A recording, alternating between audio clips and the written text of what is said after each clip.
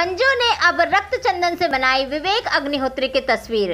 Kashmir files में कश्मीरी ब्राह्मणों का दर्द देखने के बाद भावुक होकर अपने खून से फ़िल्म का पोस्टर बनाने वाली शहर की चित्रकार मंजू सोनी ने अब इस फ़िल्म के निर्देशक विवेक अग्निहोत्री का रक्त चंदन यानी लाल चंदन से चित्र बनाया है।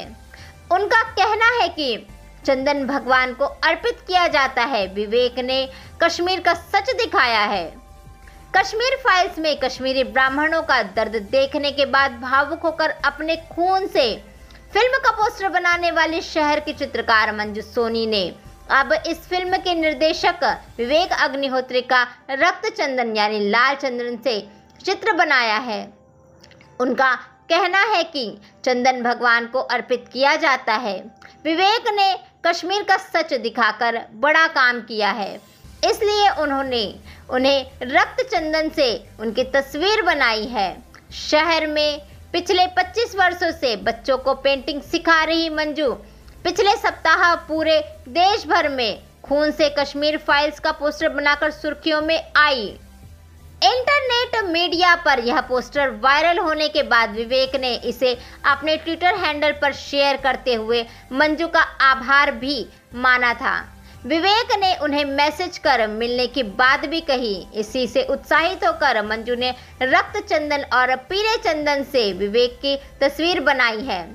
इस तस्वीर को बनाने में उन्हें पाँच घंटे लगे। उन्होंने यह तस्वीर अपने YouTube चैनल पर अपलोड भी की है। मंजू अपने चैनल पर भी बच्चों को निशुल्क पेंटिंग सिखाती है। अब गोबर से बनाएँगे कपिल शर्मा की तस्वीर। मंजू का कहना है कि आने वाले दिनों में वह मशहूर हास्य अभिनेता कपिल शर्मा की गोबर से तस्वीर बनाकर अपना विरोध दर्ज कराएगी। उनका कहना है कि वे कपिल शर्मा की प्रशंसक रही है, लेकिन उन्होंने अपने शो में कश्मीर फाइल्स फ़िल्म के प्रमोशन से इनकार किया था।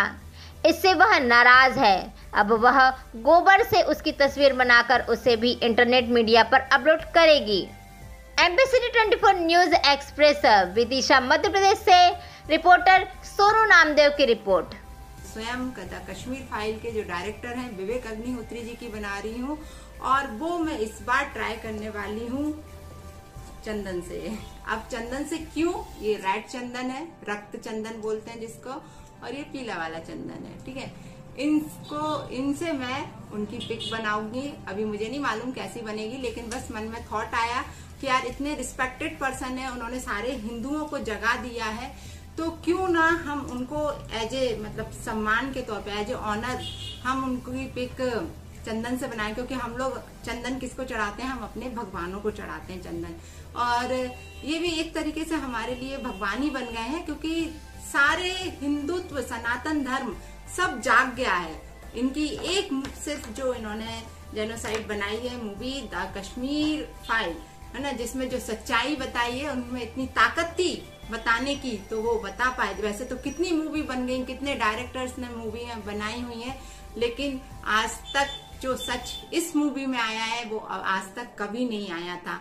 तो आपको मैं सैल्यूट करती हूँ विवेक जी, और बस आज मैं अपना ये चालू करती हूँ पेंटिंग मुझे नहीं मालूम कैसी बनेगी, जैसी भी होगी, सबके सामने होगी। बना रही हूँ गाइस नहीं पता कैसा बन रहा है क्योंकि फ़र्स्ट टाइम ये थोड़ा सा ये थिक थिक भी होता जा रहा है तो इसमें हम पानी मिलाते जा रहे हैं चंदन में। ये देखिए ये तो पूरा सूख गया है। आ, समझ नहीं आ रहा कैसा क्या बन रहा लेकिन बना रही हूँ बना रही हूँ क्योंकि मेरे को जुनून है कि बनाना ही है। आज ये मुझे अपलोड करना है जल्दी से बना के। और पता नहीं है कैसा बन रहा है सब आप ही लोग बताओगे कि कैसा बन रहा है। राधिका तो बोल रही है मेरी बेटी कि अच्छा बन रहा है मम्मी